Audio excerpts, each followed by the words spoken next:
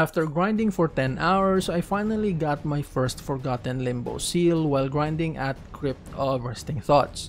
So I finally got a chance to try out the Trial of Erethea. To access the dungeon, press Escape, Adventure, Trial of Erethea, and you will be teleported into the dungeon.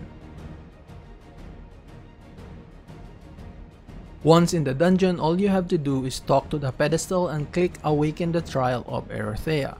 It will take the Forgotten Limbo seal in your inventory.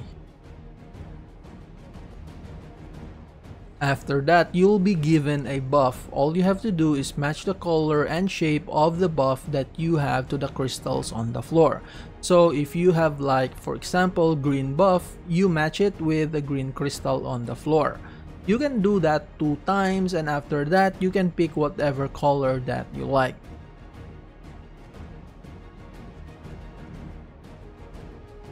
After that, you will be transported into a room and you will fight random monsters. Also, be extra careful as the monsters inside deal significant amount of damage. But do not worry because there are no penalties if you die. So do not worry about losing XP and magic crystals. Every time you finish a room, a gold chest will appear and all you have to do is deal damage to it and you will get loot. This small chest has a small chance of dropping a Deboreka ring so good luck to all of you.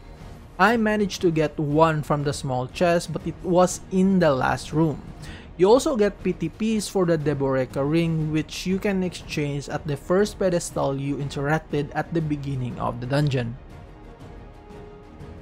After finishing 3 rooms, this message will appear and you can now enter the final room and open all the chests inside.